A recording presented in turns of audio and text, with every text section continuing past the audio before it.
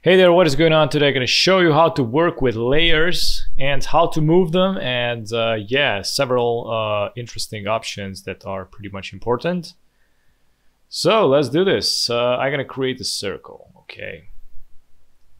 And as you can see, we got a layer. This is a layer. I'm going to create a new one. This is a second layer. We got two layers going on. As you can see, if I go to the layers and click on this arrow, it's going to open the two layers, okay.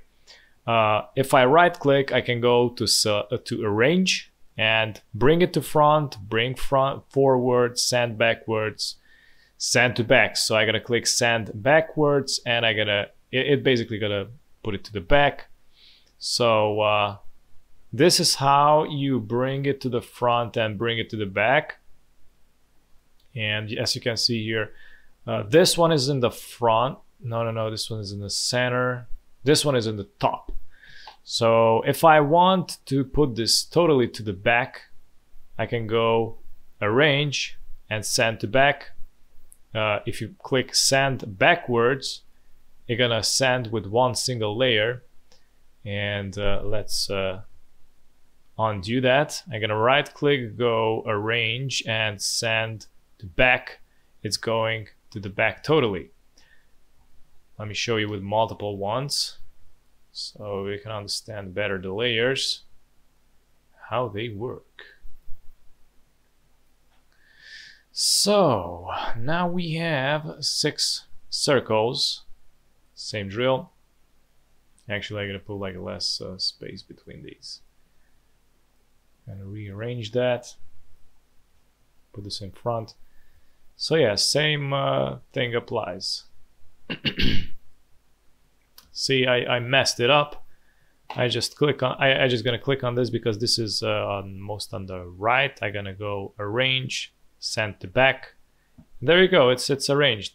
Okay, so you can understand it better. I'm gonna right click and uh, arrange, bring backwards and it always brings once backwards.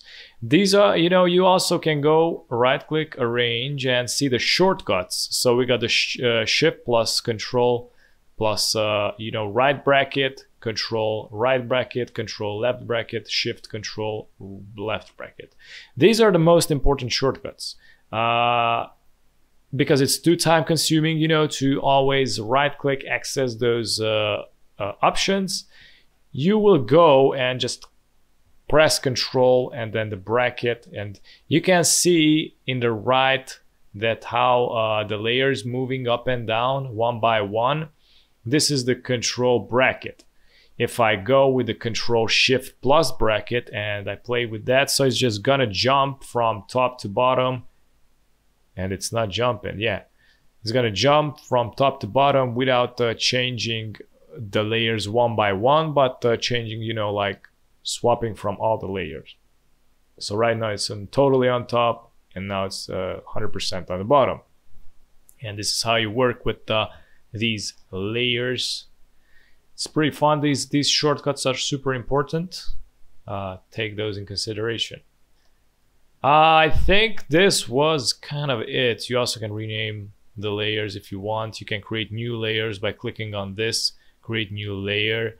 You can group them, right click, uh, you know, group the layers, ungroup the layers. Um, yeah, mostly this is it. But yeah, if I got something new, I definitely gonna upload that too. So yeah, so far, thanks for watching. Don't forget to uh, check out the other videos also and have a great day. Bye bye.